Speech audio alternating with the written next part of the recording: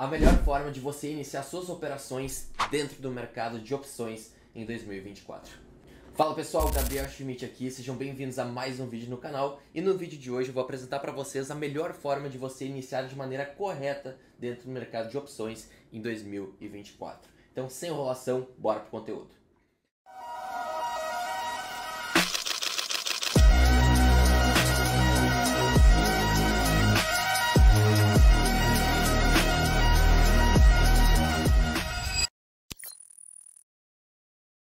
Bom, pessoal, primeiramente, antes de tudo, certo, para que a gente possa de fato fazer nossas operações dentro do mercado financeiro, dentro do mercado de opções, a gente tem que ter uma plataforma na qual seja confiável, não tenha limitações, não tenha bloqueio nem nada do gênero, porque infelizmente esse mercado tem plataformas famosos scans, tá? O que, que é o scan? É literalmente quando uma plataforma tenta de todas as formas possíveis travar quando você de fato tem resultado, tá? Então se você me acompanha em lives, vídeos ou até mesmo no grupo Telegram, eu já mostrei várias plataformas na qual eu fui bloqueado, tive minha conta bloqueada com dinheiro dentro delas, justamente por quê? Porque eu sou um trader consistente que tem resultado.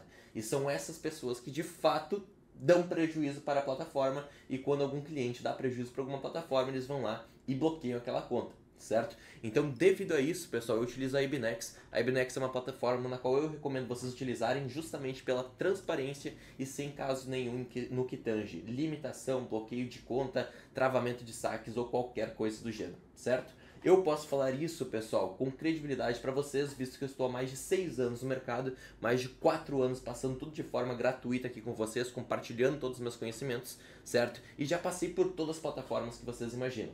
Então, devido a isso, a primeira coisa que a gente precisa de fato é uma plataforma boa na qual não vai limitar ou de qualquer maneira tentar nos prejudicar no que tange fazer grana dentro do mercado. E devido a isso, eu utilizo a Ibnex, primeiro link aqui na descrição, como também todos os links úteis aqui na descrição, certo?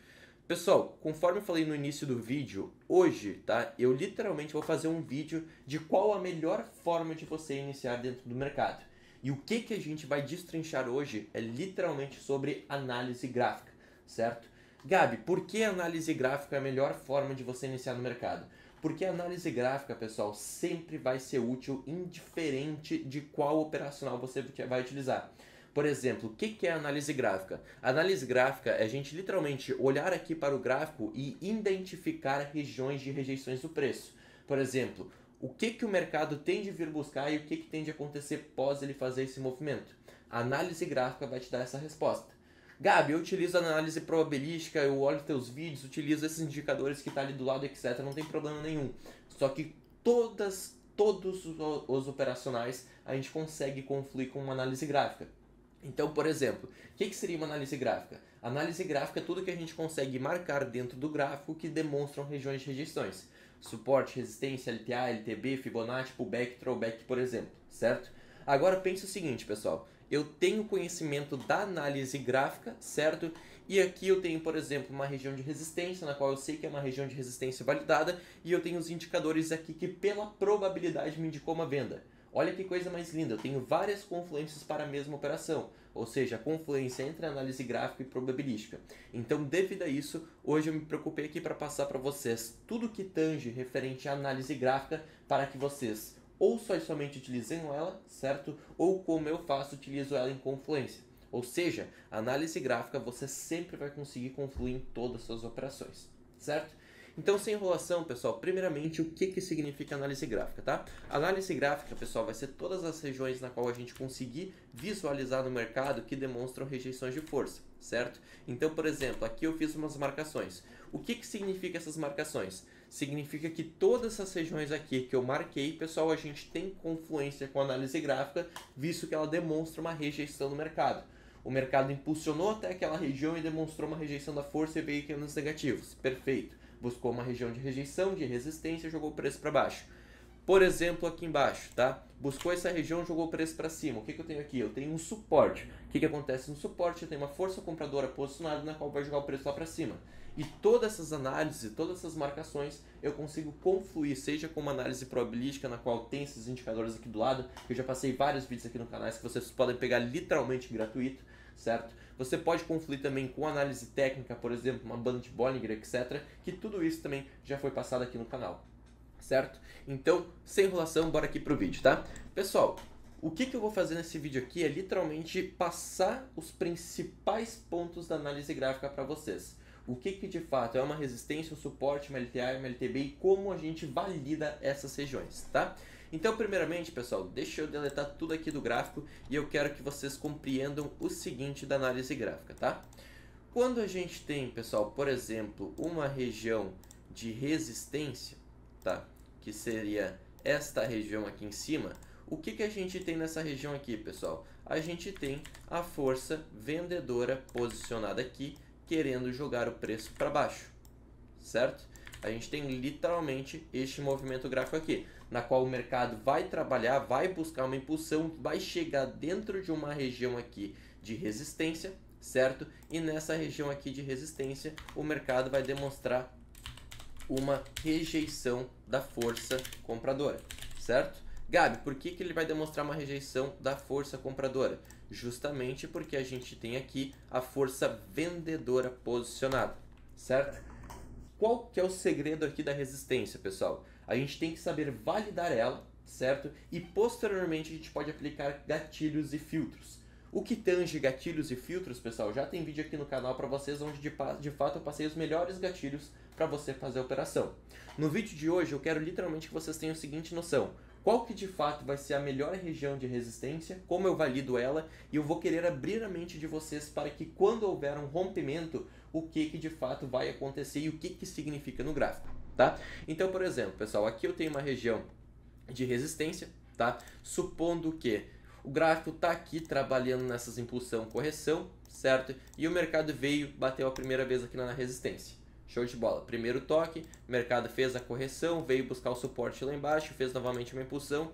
Segundo toque, veio buscar aqui embaixo, corrigiu um pouco mais, veio buscar o terceiro toque jogou o preço lá para baixo, certo?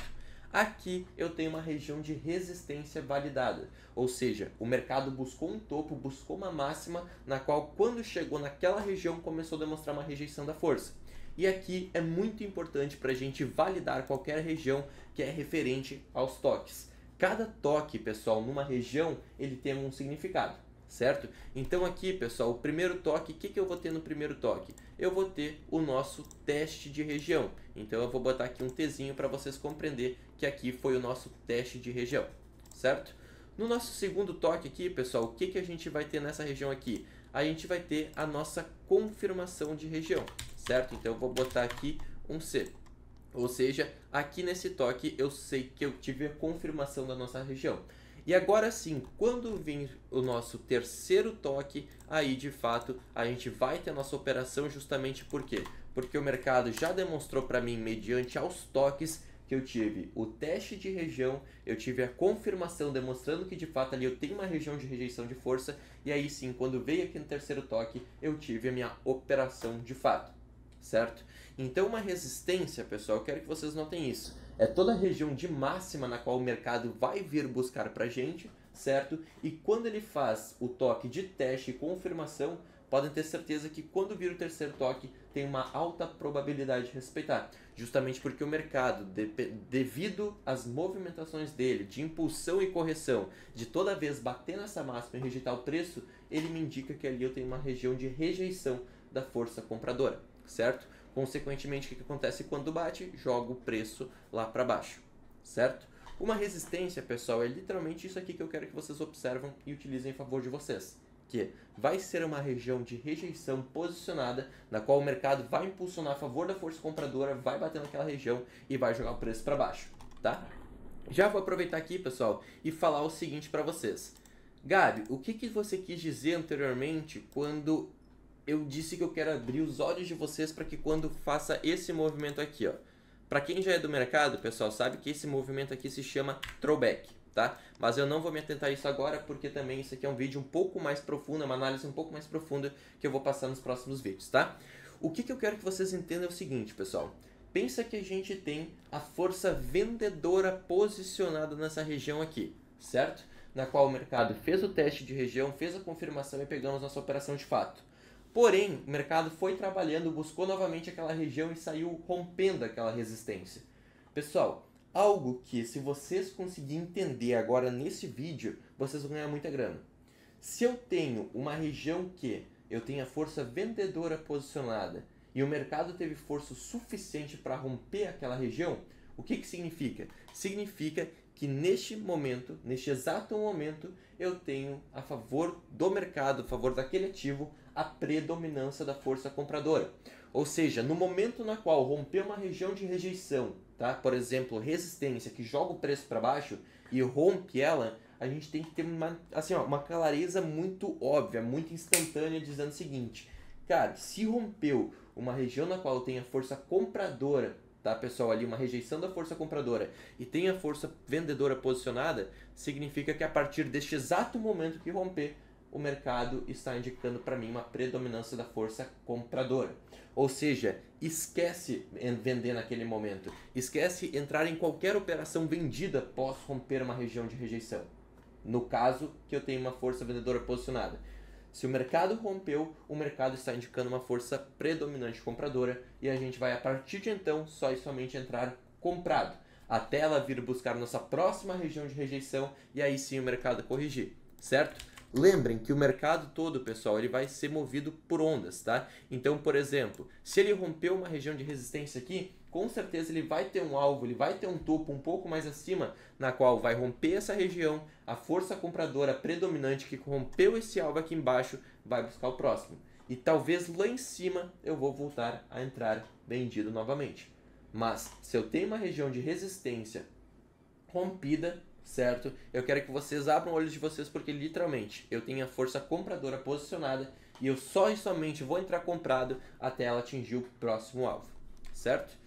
Em uma região, pessoal, de suporte, tá? Vai ser o mesmo exemplo. Então, se eu pegar aqui, por exemplo, ó, e botar aqui um suporte, pessoal, deixa eu botar aqui da cor verde justamente para vocês entenderem que aqui eu tenho a força compradora posicionada, certo? Eu vou ter literalmente aqui eu vou ter toda essa força aqui compradora posicionada, querendo jogar o preço lá para cima, certo? E o mercado vai demonstrar este movimento gráfico aqui para mim. Ele vai vir trabalhando, conforme mostrado anterior, buscou o primeiro toque, jogou o preço lá para cima, trabalhou um pouco mais, buscou o segundo toque, brigou um pouquinho mais, buscou o terceiro toque, buscou um pouquinho mais e pá, saiu rompendo e fez o um movimento aqui de pullback, tá pessoal? Que seria este movimento gráfico aqui. Primeiramente, o que, que eu tenho dentro desta região aqui, pessoal?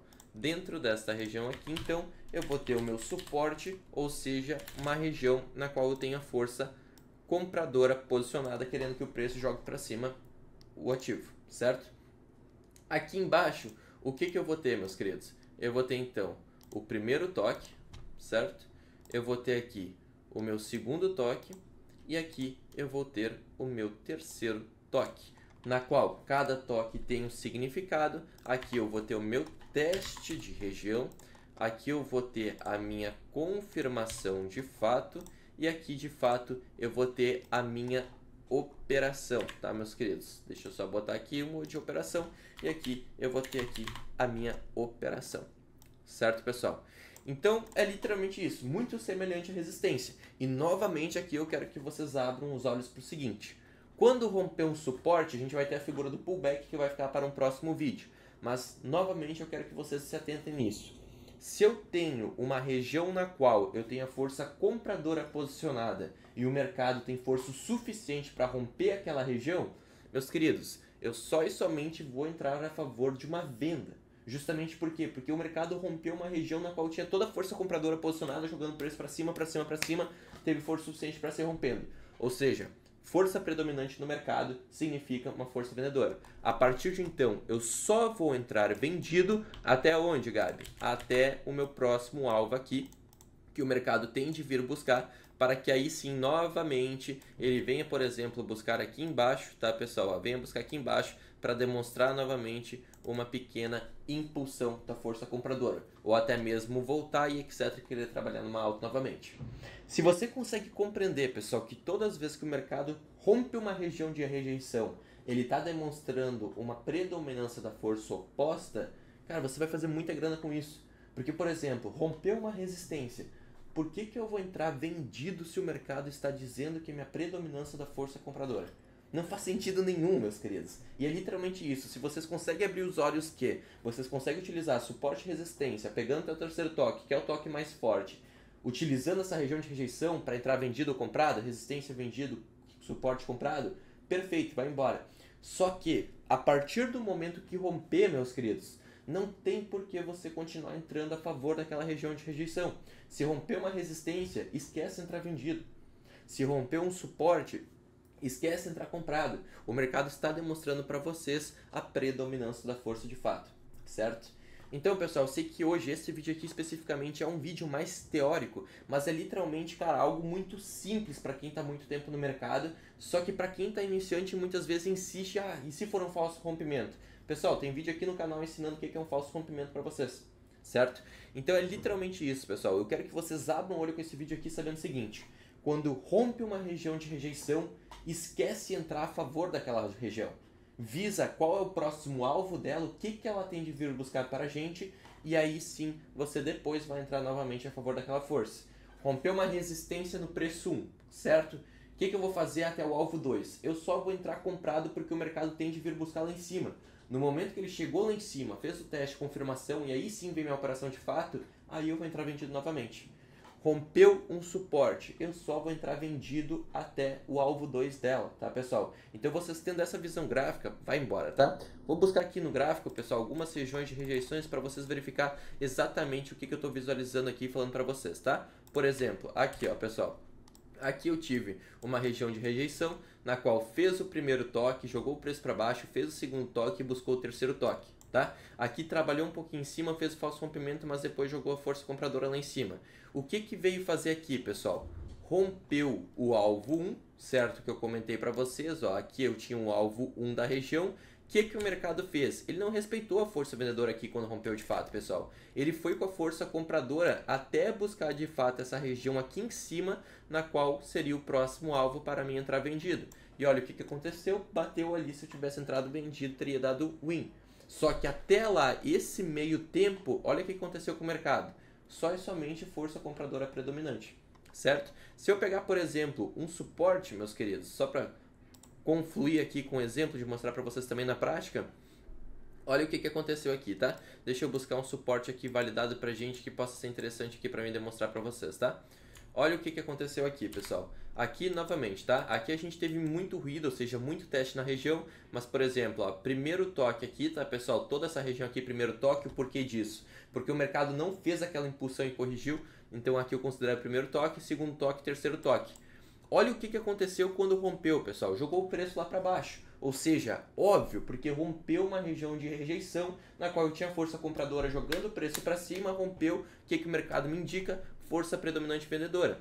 O que, que eu vou fazer, meus queridos? Eu literalmente vou olhar para trás no gráfico e vou buscar regiões de rejeições. Se eu olhar aonde de fato o mercado veio buscar, pessoal, olha o que, que aconteceu.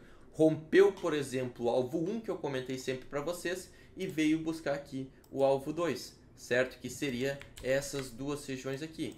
Ou seja, se você tem este entendimento gráfico que rompeu uma região de rejeição, pessoal, o mercado está demonstrando uma força predominante oposta, ou seja, rompeu uma resistência na qual estava entrando vendido, eu só vou entrar comprado até o próximo alvo, rompeu esse suportezinho aqui, eu só vou entrar vendido até eu buscar o próximo alvo. Pessoal, tenho certeza que com resistência e suporte você já vai botar grana no seu bolso, certo? Esse vídeo aqui se estendeu um pouco, pessoal, porque eu fiz um vídeo bem completo, bem teórico, explicando de fato o que é uma região validada, certo? Então eu vou deixar para o próximo vídeo aqui falar sobre LTA e LTB. O que, que significa uma LTA e uma LTB? LTA, linha de tendência de alta, é como se de fato eu tivesse um, um suporte na diagonal, certo? E LTB é como se de fato eu tivesse, ou seja, uma linha de tendência de baixa, uma resistência na diagonal. Se você quer esse vídeo sobre LTA e LTB, deixa o like aqui embaixo, batendo 50 likes eu libero esse segundo vídeo para vocês, explicando e abrindo a mente de vocês para vocês conseguirem utilizar de maneira correta a análise gráfica. E lembrem, qual que é o ponto positivo principalmente da análise gráfica? É que você consegue confluir todo o seu operacional juntamente com essa região de rejeição. Então, por exemplo, aqui, ó, poxa, tem aqui indicação do indicador indicando uma venda e essa venda aqui conflui com uma resistência no terceiro toque. Pessoal, coisa linda demais, certo? Lindo demais, até porque eu tenho mais confluência. Se você quer, de fato, maximizar o seu conhecimento, dar aquela intensificada de fato, faça um convite para você entrar no GS Class, na qual o link vai estar aqui embaixo. O GS Class é minha, literalmente minha Netflix das opções, na qual eu pego na tua mão, te ensino do básico ao avançado, passando tudo para você iniciante, intermediário, avançado, script, gestão, tudo, tudo mesmo que vocês precisam para de fato ter resultado. Gabi, preço disso aqui? Zero reais. Eu banco toda essa estrutura para que de fato você possa ter o começo certo dentro do mercado financeiro. Todos os links aqui embaixo na descrição. Se você gostou daquele, desse vídeo, deixa aquele like, deixa aquele comentário, se inscreve no canal e bora pra cima, que é só o começo.